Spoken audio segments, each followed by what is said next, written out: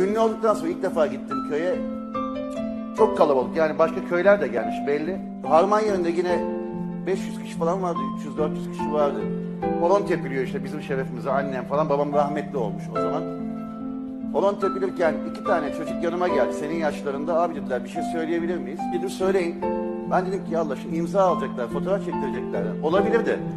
Horon da tepiliyor. Şimdi iki kişiye verdim mi herkes kalkar ya. Hani bu stüdyoda doluyor ya.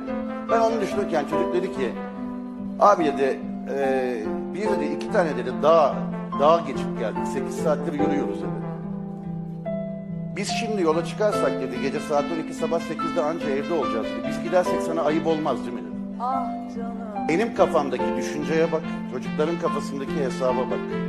İşte değişmedik diyoruz. Aslında değişiyor. Çok utanmıştım. Yani çok utanmıştım zaten.